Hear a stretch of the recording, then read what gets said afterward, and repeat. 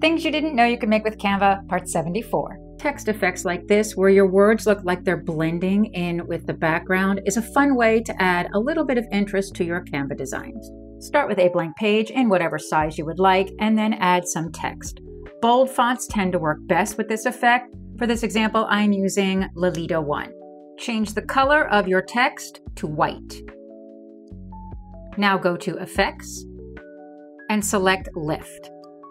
Change the intensity slider to 100. Duplicate your text and place it directly on top. Go to the Apps section and search for Asset Sync and click Convert to Image. Select Transparent Background and then click Export. Add a new page and then add your image to the page. Next, go to Elements and search for a background image and add that to your page. You should have the background image as well as the text you converted on your page. Go back to the Apps section and search for Blend Image. Click on that converted text, and in the menu where it says Top Layer, choose Use Selected Image. You'll see a preview in the window. Then click on your background, and in the bottom layer, choose Use Selected Image. You'll now see your text as well as your background image in the window. Next, where it says Blend Mode, click on that option and change it to Multiply. This gives you the preview of your text blended in with the background.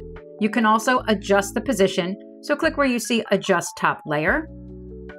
You can change how that image is placed, as well as where on the image it shows up. You can scale it to make it smaller,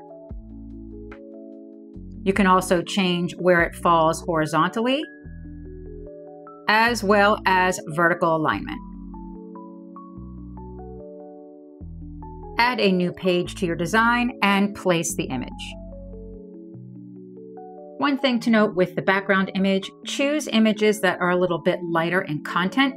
Images that have a lot of dark to them won't work as well because your text has that darker shadow so they won't show up quite as well on a dark background versus one that has a lighter background. Use this effect for your favorite quotes, captions, or motivational posts. Hit that follow button so you can get more Canva tips like this.